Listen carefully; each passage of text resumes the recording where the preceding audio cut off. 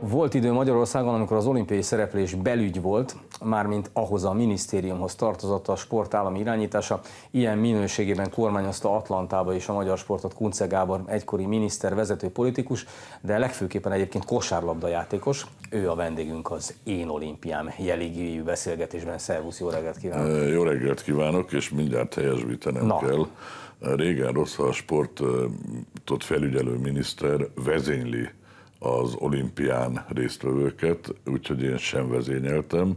Szerintem most sem vezényli a sportvezetés, legfeljebb szeretne úgy csinálni, mint amikor aranyat szerzünk, szeretne úgy csinálni, mintha azt ő gyártotta volna és szerezte volna meg, de valójában a helyes az az, hogy a feltételeket kell biztosítani, aztán ha meg eredményeket érnek el a sportolók, azoknak örülni kell. Tehát te azt szereted, hogyha a politikus ilyenkor csendesebb?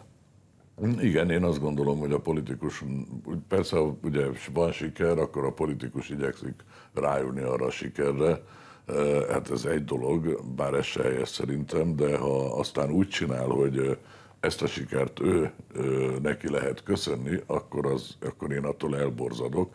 Azért mondom, mert tegnap Gyurta Dani minnyájunk nagy örömére szerzett egy aranyérmet. És akkor egyszer csak meglátott Cene szakon, És egyszer csak Cene Attila azt mondja, hogy fölhívta őt a Gyurta Dániel apja, és megköszönte a magyar államnak a segítséget. Na most én nem ismerem Gyurta Dániel apját, de biztos, hogy nem tett ilyet. És akkor utána jött még ez a ki mindenki küldött SMS-t, és Tőkés László az erdélyi magyarság nevében, és, és így tovább, és ez nem kellene. Ez egy nagy siker, Gyurta Dani hatalmas sikere, ami, ami nekünk is nagyon jó volt, és nagyon örültünk neki, és büszkék voltunk rá. Pont. Pont. No, de akkor most kérdőjelek jönnek. Neked melyik volt az első olimpiád? Amit személyesen láttam? Hát igen. A helyszínen. Nem, először nézzük, ami így az eszmélésedben benne van. Ja, hát húha. Húha? Hát igen, húha, mert, mert én szerintem azt nem mondta, hogy az 1896-osat Igen, már az is nagyon érdekes volt. Nem, hát valamikor ugye a 60-as évek elején nyilván akkor már volt televíziónk, és a televízió meg közvetítette. Mondjuk Mexikó. Igen, így van. Melyiket láttad először a, helyszínen? Ott, ugye ott Mexikóba ugrott a Bémon azt a 8 bizony, bizony, 8 eredményt, amit sokáig nem tudtak megjavítani, úgyhogy tényleg biztos az volt. Melyik volt az első helyszínen? Atlanta az a bizonyos Atlanta, ahol tehát nem vezényelned, hanem segítened kellett a, a magyar sportot. Szerinted, akkor ugye hat éve voltunk a rendszerváltás után, és hogyha megnézzük a magyar sport finanszírozás, az állami sportirányítás helyzetét, akkor azóta mennyit változott, mennyit romlott?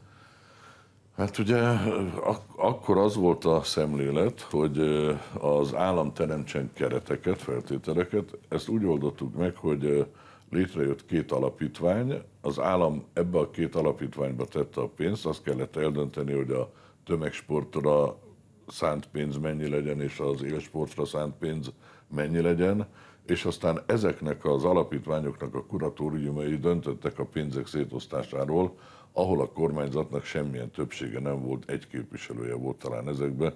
Mi azt mondtuk, hogy társadalmasítottuk a sportra szánt pénzek felhasználását. Azt mondta az állam, hogy tessék a ti dolgotok a továbbiakban, ha kudarcot vallotok, az a tiétek, a sikert értek el, az is a tiétek.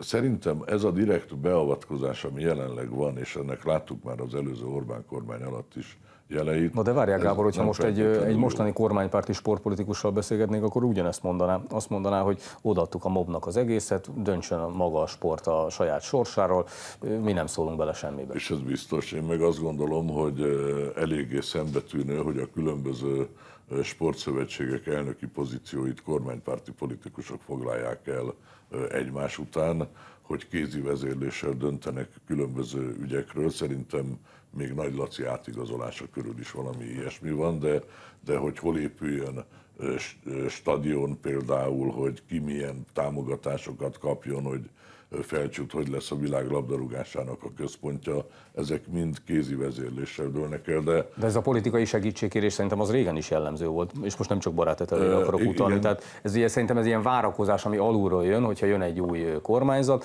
akkor szívesen és előszeretettel hívják meg a sportegyesületek és a szövetségek a, a befolyásos politikusokat vezetőknek.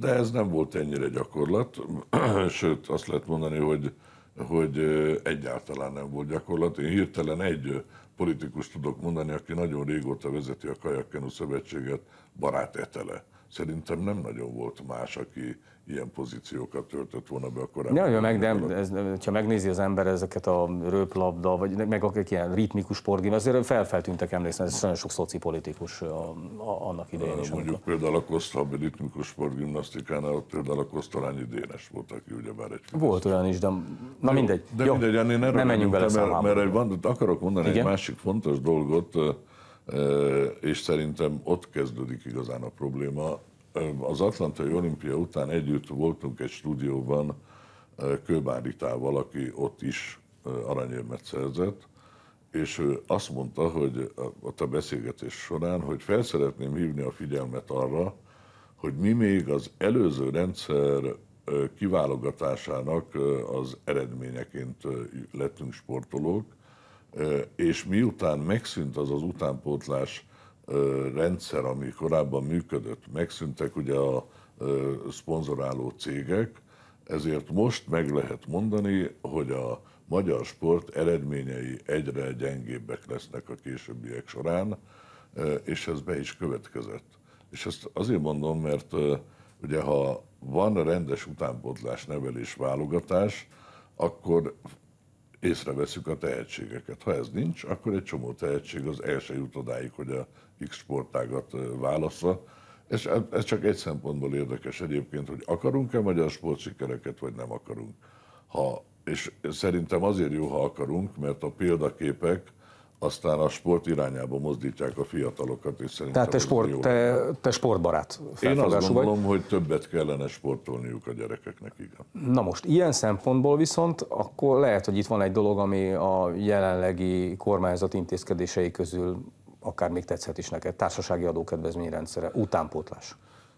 Azért nem egészen tetszik, az utánpótlás része az egyébként tetszik, de ha az állam több pénzt akar fordítani a sportra, akkor mondja ki. Mondja azt, hogy kérem, mert ugye mit csinál most? Lemond az adóbevételről, hogy azt fordítsák Tehát te azt mondod, hogy direktbe, tehát ugyanígy adják, csak adják oda direktbe. Nem, hát a probléma az, hogy most az elosztás az a döntéshozók, a, a pénz tulajdonos döntéshozóktól függ. Tehát, hogy a, hogy a nagy bank hová teszi a, erre a célra szánt pénzét, az, az azért úgy meghatár, ő maga határozza meg, hogy mire fordítsák. Szerintem az állam akar 40 milliárddal többet a sportra költeni, akkor vállalja fel büszkén, találja ki, hogy mi legyen az a szisztéma, és utána költse arra ne emeljen ki, bocsánat, hogy mindig a Felcsúti stadionnal jövök, de nekem az nagyon tetszik. Nekem mindenről a Felcsúti stadion jut eszembe. Igen. I- igen, mert ugye nem is laknak annyi a Felcsúton, amikor a befogadó képessége lesz a stadionnak. De, de jó, de mindegy, csak az összes többivel is ugyanez a helyzet, hogy nem ott kezdődik valószínűleg, hanem az utánpótlásnál. Mm, az, viszont az utánpótlás kiemelt és masszív támogatása az egy, az, az, az egy jó irány. Az, az egy jó irány lenne, és jó irány, hogyha abba indulunk el. No, ha megnézzük ezt a, az olimpiát, te speciál mit nézel? Én mindent. Én Minden. speciál mindent, igen. Tehát te minden néző vagy? Hát, hogyha ráérek, akkor ott ülök a televízió előtt, és kapcsolgatok ugye a különböző csatornák között, mert mindig más verseny van, és eh, lehet, hogy a Cselgáncnál ragadok le, de az is lehet, hogy a vívásnál. Engem például tegnap a sportlövészet Csonka Zsófi, az lenyűgözött. Mhm. Na jó, de én most tegnap nem tudtam sajnos tévét nézni, mert egész nap más elfoglaltságom volt, de igaz, még a, még a sportlövészet is tud nagyon izgalmas lenni. Kosárlabda, az élvezi a kiemelt figyelmet? Hát az természetesen, a kosárlabda van, akkor más nincsen. Akkor más nincsen. Akkor más nincsen. Szerinted a magyar kosárlabda visszakerülhet majd? Egy ilyen világjátékra. Most például a magyar kosárlabdában, ugye a látványsportok keretében nagyon komoly nekifeszülések és fogadkozások vannak.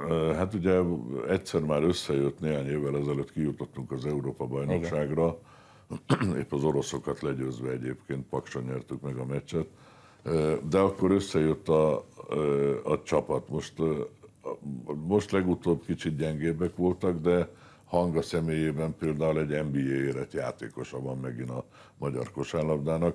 Szerintem Európában visszakapaszkodhatunk, hát a világ azért egy kicsit odébb van. A világban most mi a helyzet, hogyha egykor emlékszünk arra, hogy megjelentek hatalmas piáról ezek az amerikai Dream Team csapatok, akkor most mi várható szerinted? Aténben ott nagyon elrontották, harmadikak lettek, de ez annak volt köszönhető, hogy a reggel négyig a bárban tartózkodtak a játékosok, és ott gondoskodtak arról is, hogy még utána is legyen némi programjuk, és ez meglátszott a Tehát se team, se dream. Hát ugye? pontosan így van. Azóta nagyon komolyan veszik, következésképpen az ki van zárva, hogy ezt az olimpiát más nyerje meg kosárlabdában, mint az amerikaiak. Ugye korábban egyet veszítettek el, az a bizonyos szovjetek elleni, ahol Alexei Bielova utolsó másodpercben dobott egy kétpontost, és ezzel nyertek az oroszok. Sokáig vitatták, hogy egyáltalán érvényes volt-e. Egyszerűen az amerikai kosárlabda annyira a világ kosárlabdája fölött áll, hogy az elképzelhetetlen, hogy őket valaki legyőzze. Hát igen, és ez is már 40 éve volt. No, magyar érmek, a végére értünk. Mi lesz a vége szerinted? Na most ez egy érdekes Ahogy dolog. a kínaiak meg az amerikaiak kiporszívozzák az érmeket, akár még jól is végezhetünk a táblázaton. Um, igen, és ezt akarom mondani, hogy az Atlanta tanulsága volt, hogy az első héten nem nagyon jöttek az eredmények, és akkor mindenki a sportvezetők közül rágta a körmét, hogy úristen, hogy fogunk így hazamenni, semmi nem jön össze. Aztán ugye Kovács Ági úszott egy bronzot, ettől úgy mindenki felszabadultabb lett, és aztán szereztünk egyet atlétikában, de azért akkor utána jött ugye a úszásban az egér még egyszer, ott még tudott győzni 200 mellen, és akkor utána megint csönd volt, és akkor jött a kajak kenu, három arany, két ezüst, egy bronz, és fantasztikusan szerepeltünk.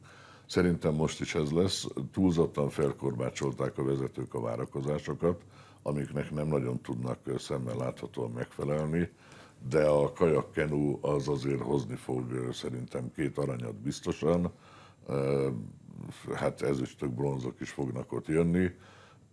Szerintem Cselaci ma úszik egy érmet, és még a Kis Gergőnél is bármi összejöhet és akkor ez azt jelenti, hogy jobban fogunk szerepelni, mint legutóbb Pekingben, és akkor mindenki elégedett lesz, és a kormány majd kiáll, és azt mondja, hogy beérett a fülke forradalom a sportban is, mert lám milyen szép eredményeket értünk el, és akkor mi majd továbbra is csak a sport sikernek fogunk örülni.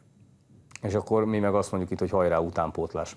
Ez pontosan. És egérke háton, mert csak, no, végére értünk. Bocsánat, egérke háton, így van, igen. Köszönöm szépen, hogy itt voltál.